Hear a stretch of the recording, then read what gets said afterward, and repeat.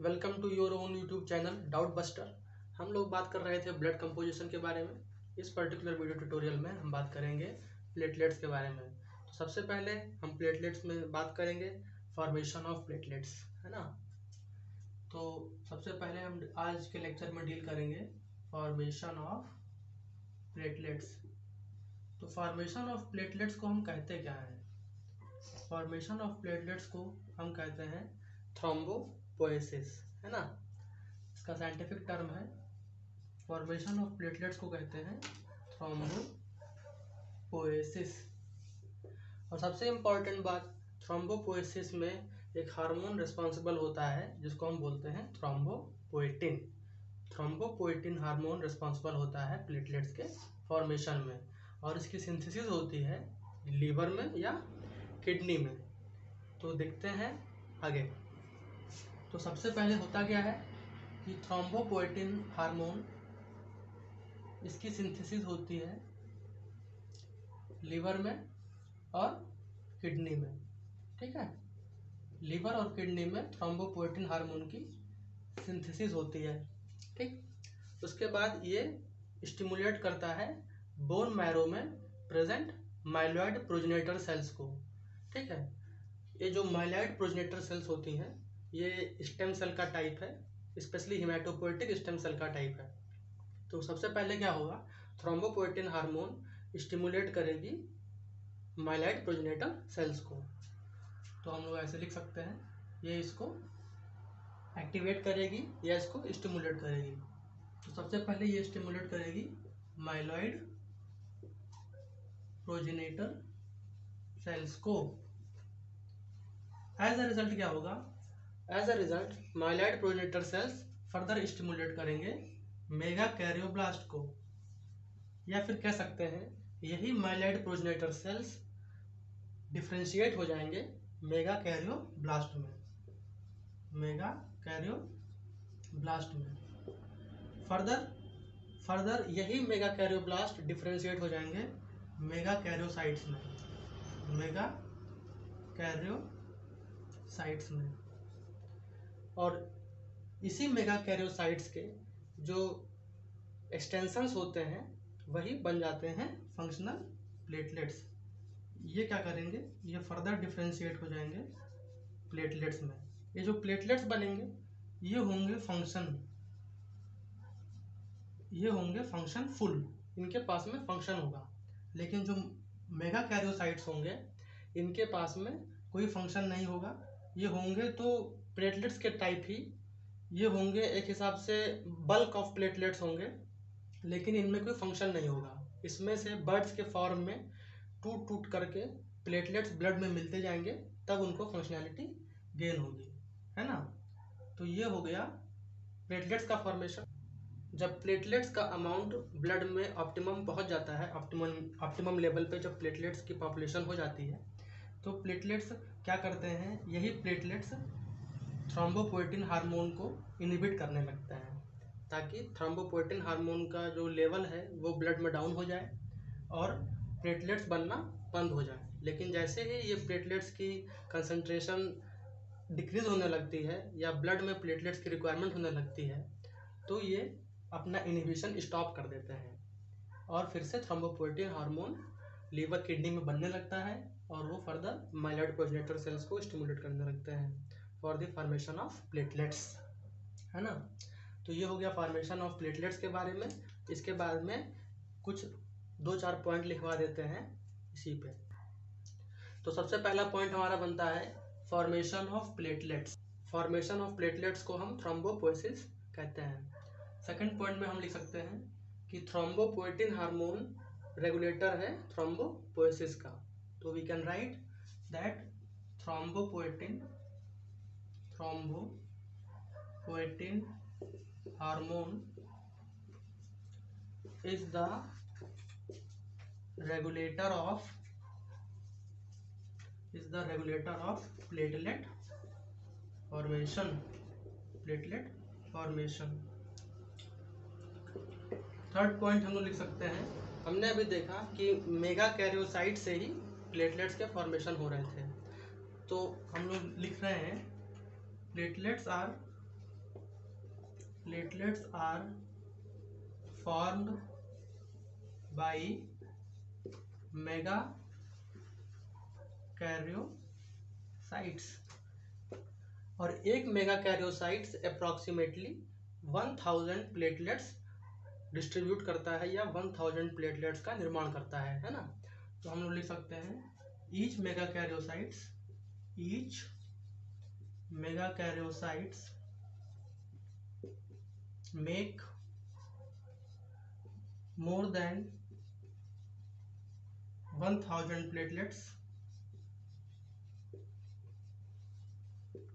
in our body है ना? Next हमने ये भी देखा था कि थ्रोम्बोपोएटिन हार्मोन और प्लेटलेट्स में इनवर्स रिलेशन था। तो हम लोग ऐसे लिख सकते हैं platelets platelets is inversely proportional to thrombopoietin thrombopoietin concentration तो कहने का मतलब ये है, जब ब्लड में प्लेटलेट्स का कंसंट्रेशन नॉर्मल रेंज रहेगा या ऑप्टिमम अमाउंट में प्लेटलेट्स बॉडी में प्रेजेंट रहेंगे तो थ्रोम्बोपोइटिन हार्मोन का एक्शन इनहिबिट हो जाएगा। और जैसे ही प्लेटलेट्स की डिफिशेंसी होगी या प्लेटलेट्स कम हो जाएँगे तो नॉर्मल फिजियोलॉजी में थ्रोम्बोपोइटिन का जो इस पे इनहिबिशन है प्लेटलेट्स का जो इनहिबिशन है थ्रोम्बोपोइटिन पे, वो हट जाएगा और थ्रोम्बोपोइटिन अपने हिसाब से माइलेट प्रोजेंटर सेल्स को स्टिमुलेट करेगी और उसको फर्दर मोर प्लेटलेट्स बनाने के लिए उसको सिग्नल भेजेगी और इस तरीके से प्लेटलेट्स की कंसनट्रेशन बनी रहेगी। तो हम लोगों ने देखा फॉर्मेशन ऑफ़ प्लेटलेट्स को थ्रोम्बोपोइसिस कहते हैं। Thrombopoietin hormone is the regulator of platelet formation क्योंकि थ्रोम्बोपोइटिन हार्मोन ही रेगुलेट कर रहा है कि कितना प्लेटलेट्स बनना है ब्लड में और कब बनना है। है ना? Platelets are found by megakaryocytes and each megakaryocytes make more than one thousand platelets in our body तो हम लोगों ने देख लिया है फॉर्मेशन ऑफ़ प्लेटलेट्स अब हम लोग देखेंगे स्ट्रक्चर ऑफ़ प्लेटलेट्स प्लेटलेट्स का स्ट्रक्चर कैसा होता है? और उसमें साइटोप्लाज्म भी होगा, है ना? उसके, उसमें सेल मेम्ब्रेन्स भी होंगी। तो उनमें क्या क्या ऐसा स्पेसिफिक चीज़ें हैं? जो कि उसके फ़ंक्शन को परफॉर्म करने में हेल्प करती हैं। तो आइए देखते हैं। स्ट्रक्चर में एक हो जाएगा सेल मेम्ब्रेन और दूसरा हो जाएगा साइटो प्लाज्म है ना? तो उसके सेल मेम्ब्रेन में क्या क्या पाया जाता है?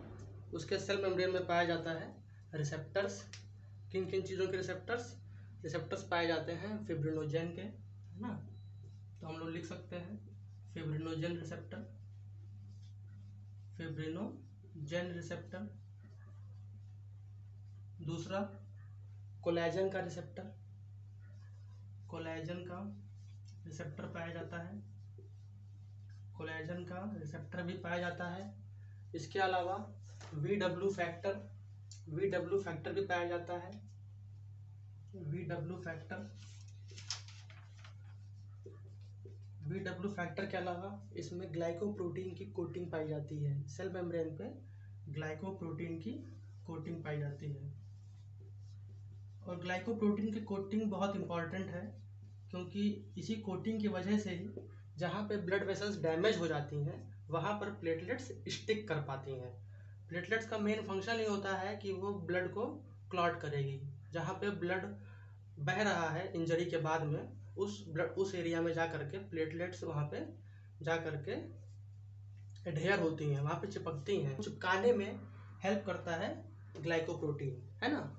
तो ये उनकी सेल मेम्ब्रेन में ये विशेषताएँ होती हैं। फिब्रोनोजन रिसेप्टर पाया जाता है, कोलेजन रिसेप्टर पाया जाता है वी डब्ल्यू फैक्टर पाया जाता है, ग्लाइकोप्रोटीन कोटिंग पाई जाती है। इन सब के बारे में हम डिटेल में बात करेंगे अपने नेक्स्ट लेक्चर में, जब हम ब्लड क्लॉट देखेंगे, है ना? तो अब देखते हैं कि प्लेटलेट्स के साइटोप्लाज्म में क्या क्या पाया जाता है ना? तो प्लेटलेट्स के साइटोप्लाज्म में सबसे पहला चीज़ पाई जाती है एक्टिन और मायोसिन प्रोटीन्स है ना? एक्टिन और मायोसिन प्रोटीन्स पाई जाती हैं। एक्टिन एंड मायोसिन प्रोटीन्स ये actin and myosin proteins help करते हैं क्लॉट के क्लॉट रिट्रैक्शन में। ये हेल्प करती हैं क्लॉट रिट्रैक्शन में, या फिर हम लोग कह सकते हैं इसको प्लेटलेट्स के कॉन्ट्रैक्शन में।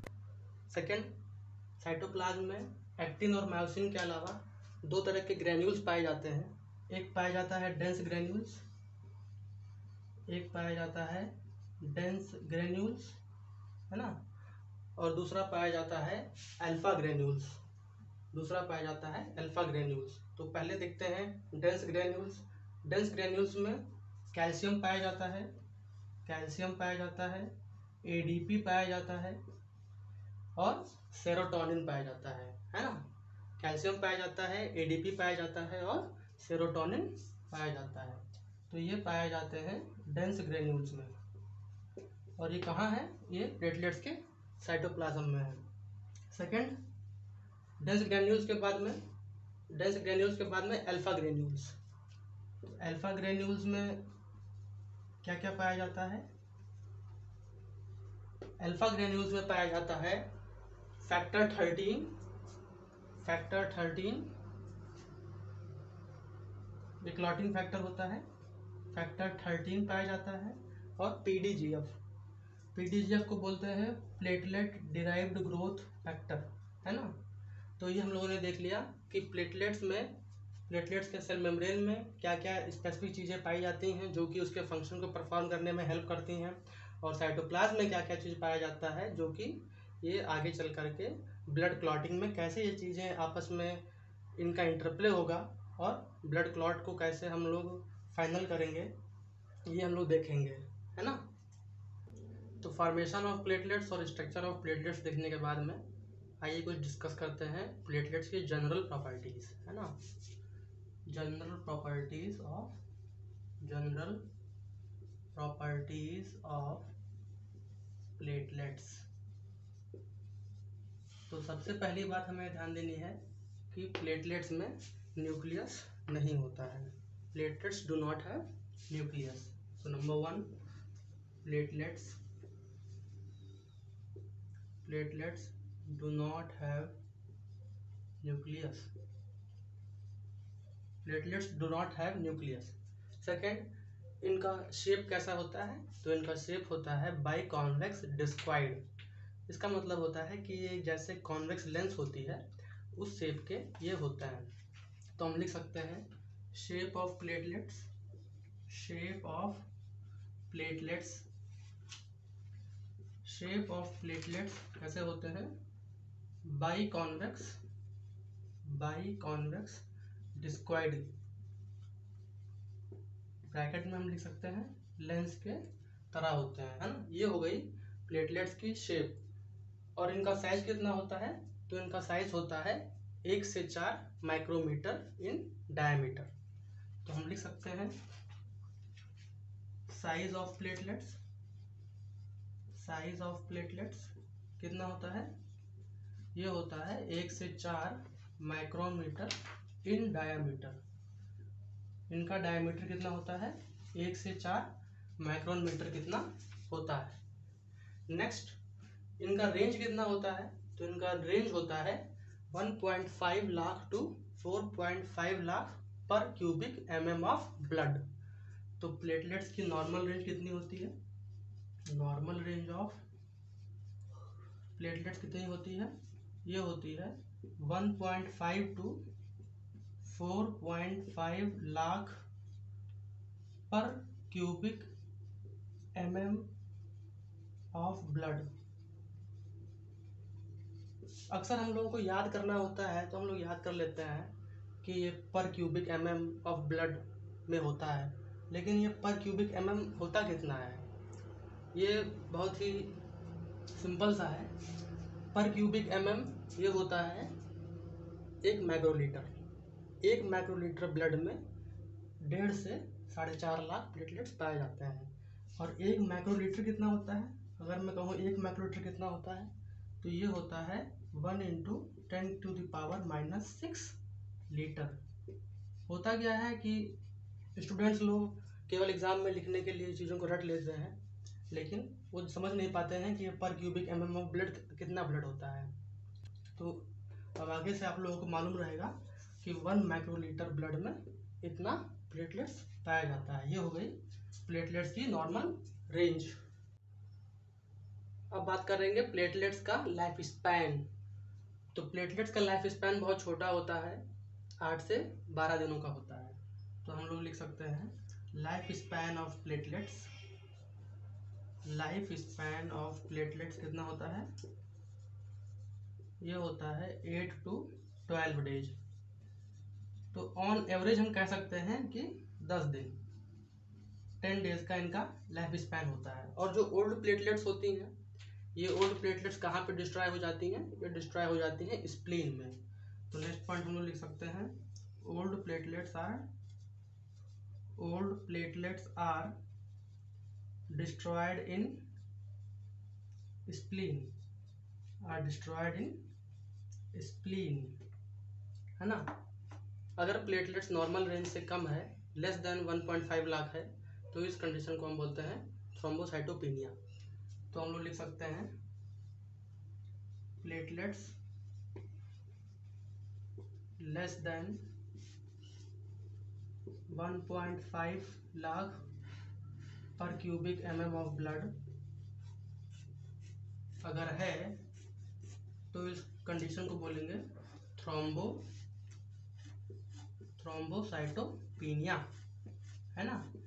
और अगर 4.5 लाख से ज़्यादा है तो बोलेंगे थ्रोम्बोसाइटोसिस तो हम लिख सकते हैं platelets more than 4.5 lakhs per cubic M M of blood अगर प्लेटलेट साढ़े चार लाख पर क्यूबिक एम से ज़्यादा है ब्लड में तो हम इस कंडीशन को बोलेंगे थ्रोम्बोसाइटोसिस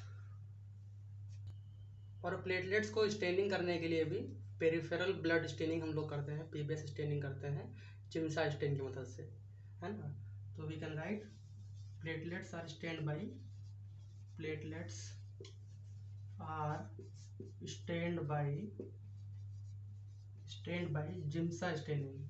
Giemsa staining procedure. और इसको ऑब्ज़र्व करते हैं 500 एक्स तक। है ना? और ये कैसे दिखेंगे? ये हम लोगों को पर्पल पर्पल डॉट्स में दिखेंगे। और जो जो बड़े बड़े सेल्स होंगे, वो रेड ब्लड सेल्स होंगे। जैसा कि आप अपने स्क्रीन पे देख पा रहे हैं इमेज को।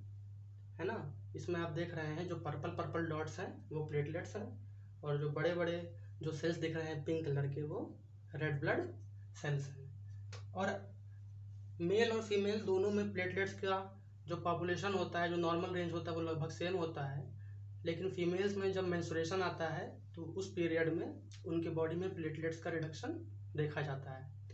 तो इस वीडियो लेक्चर में इतना ही। प्लेटलेट्स के बारे में नेक्स्ट वीडियो लेक्चर में हम बात करेंगे। प्लेटलेट्स का जो फ़ंक्शन है ब्लड क्लॉट मैकेनिज्म उसके बारे में बात करेंगे।